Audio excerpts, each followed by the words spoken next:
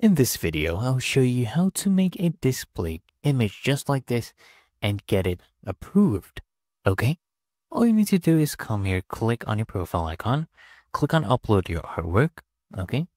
And you just need to take into account some requirements, which I'll go ahead and show you. You can come here, click on this. So it needs to be a high quality image, of course. It needs to be in a JPG, PNG, WebP, or AVI format. The minimum size needs to be 2900 by 4060 pixels in a 1.4 by 1 ratio. It needs to be 300 dpi or more in RGB mode. Okay? And these are the requirements. So how do you do this? For example, let's say you have a image editing software tool, or you can even do this in Canva, honestly. I'm using Photoshop. Just come and click on File, click on New. Make sure width is set as 2900, height is set as 4060, and resolution 72 pixels per inch, color mode RGB. Okay, I'll go ahead and open this up. Now what I actually use is I use a stable diffusion to generate images for myself. It is free. You can go ahead and try it out. Stable diffusion.web. And you can generate images. For example, let's go ahead and do puppy. We'll do a puppy, right? Puppy. Ratio 1.4 to 1.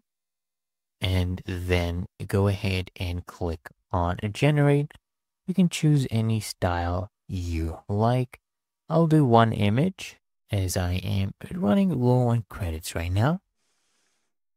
I'll make a realistic. We'll do a realistic puppy. Just click on generate. These are some of the images I have generated so far. As you can see, it is almost done. Okay? Now, after this, I'll go ahead and download this. Okay, this one came up with something that looks like a rat. I'll do cute puppy. And then we'll go ahead and generate that again. And let's see what it comes up with.